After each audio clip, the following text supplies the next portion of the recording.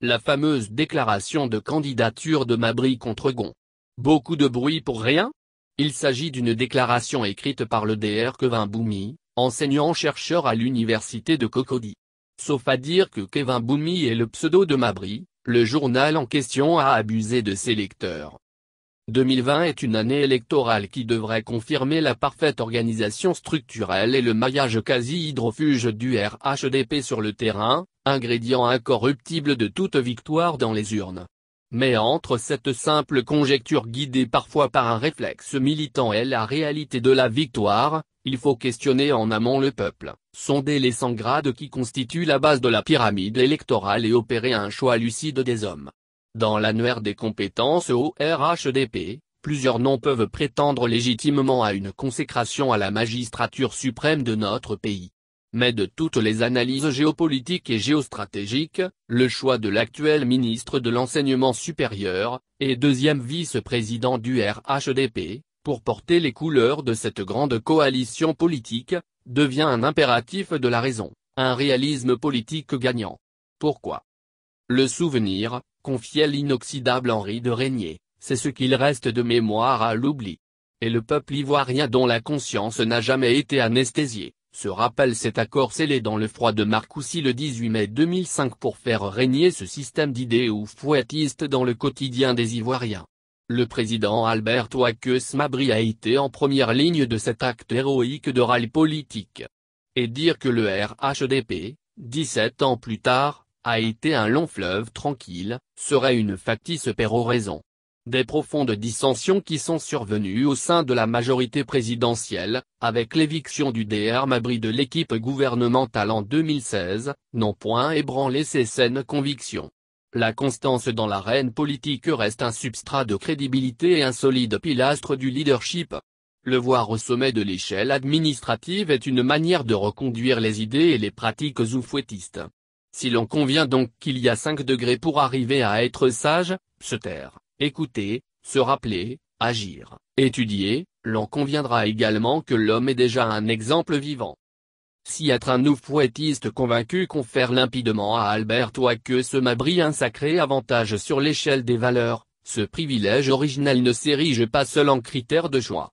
Il faut clairement dire que les nombreuses réformes opérées à la tête de plusieurs ministères, ont forgé ce grand commis de l'État à la saine gestion des affaires publiques. Atme peut légitimement s'enorgueillir d'une maîtrise des domaines aussi transversaux. De la santé à l'enseignement supérieur, bien sûr avec des escales bien remplies au transport, au plan et au développement, aux affaires étrangères, l'homme a toujours été un pivot, une épine dorsale de l'action gouvernementale auréolé de cet acquis qui le propulse parmi les apostrophes apif et apostrophes, il pourra éventuellement faire preuve de proactivité ou de réactivité sur les grands enjeux de développement durable. Il dispose des compétences dont la nation tout entière peut bénéficier. Dans un pays où de simples quiproquos se vident parfois par les biceps, où le sentiment ethnique et régional flambe et asphyxie irrémédiablement l'intérêt national, il faut des figures moins clivantes. En la matière, écurie politique et observateurs exercés font chorus sur l'élégante pondération du deuxième vice-président du RHDP. Façonné par les principes de bon ton théorisés par le général Guy Robert, Atm a toujours eu le verbe conciliateur et donné une connotation apaisante à ses interventions publiques. Jamais mêlé aux antagonismes les plus tranchés, Atm mérite bien de demeurer ce trait d'union entre les cœurs. La Côte d'Ivoire doit s'honorer de compter dans son personnel politique et des valeurs sûres de la mesure et de la responsabilité. En même temps que sa stature nationale lui, le RHDP, il faut avoir le saint courage de le dire, souffre encore d'une méchante colle que lui administrent ses plus fervents détracteurs. Celle de lui faire porter l'étiquette d'une constellation de partis vassalisés par un RDR qui en constitue la charpente. Dès lors, se construisent des théories les plus surréalistes sur les probables visages de la succession. Il serait utopique, pour ses pourfendeurs, de proposer un successeur de Ouattara en dehors du RDR et surtout du septentrion ivoirien. Si l'on s'accorde sur la structure unitaire de cette grande coalition politique, la logique minimale restitue clairement le choix de Mabry. Sa formation politique, Luxi avec le RDR, restent les deux partis qui peuvent revendiquer la couronne de la constance dans l'alliance 17 ans après les accords de Marcoussis.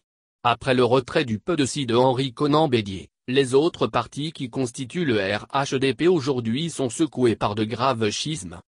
Au nom de l'inconscient collectif qui adosse les partis politiques à une ère géographique et à un substrat socio-ethnique en Côte d'Ivoire, l'UDSI a longtemps souffert d'une connotation de parti de l'extrême ouest, avec pour principaux animateurs le peuple d'Anne. Sans nier la part de vérité de telles supputations, l'on note cependant que le président Atma, par une admirable politique d'implantation et de renforcement, a porté un démenti à cette vision parcellaire, donc amputée. Qui ne voit pas l'UDSI à l'intérieur d'un RHDP conquérant, faire tomber les bastions. D'est en ouest, du nord au sud, en passant par le Vébaoulé, Atma est bien présent et grimpe de jour en jour dans le cœur des Ivoiriens. Dans notre hémicycle, le démenti est encore plus affirmé avec les députés, sous la bannière UTSI-RHDP, de plusieurs localités, bien loin du Far West. Si le RHDP rayonne à Atekoubé, Dimbokro, Divo ou tout maudit pour ne citer que ces localités, c'est que les populations y ont cru au projet du DR albertois que ce Mabri. Tout confirme que Mabri qui négocie bien cette pente ascendante flirte désormais avec les sommets. En définitive, il revient aux instances du parti d'investir un ticket gagnant pour porter haut les couleurs du RHDP en octobre prochain. Vu les forces en présence pour ce scrutin, il est impérieux de présenter un produit facilement vendable. Dr Oumoudosso, directrice de la communication du ministère de l'Enseignement supérieur, le ministre Mabri n'a annoncé aucune candidature. Deux folles rumeurs ont envahi les réseaux sociaux, évoquant la candidature d'Albert Ouakeus Mabri à la présidentielle d'octobre prochain. La directrice de la communication du ministère de l'Enseignement supérieur dément. Nous ne confirmons pas cette nouvelle. C'est de l'infox et de l'intox. L'heure n'est pas à la saison des candidatures et dans tous les cas si le ministre Mabri devrait annoncer une quelconque candidature, il le ferait par des canaux crédibles. En su, nous n'avons pas connaissance de ce que le Premier ministre, ni aucun autre membre du RHDP est pour le moment candidat à quoi que ce soit. Le ministre Mabry est actuellement sur les chantiers de son ministère et attache du prix à la bonne conduite du programme social du gouvernement. Depuis un moment, il ne passe de jours sans qu'un poste n'évoque la candidature du ministre Mabry. De pure fake news.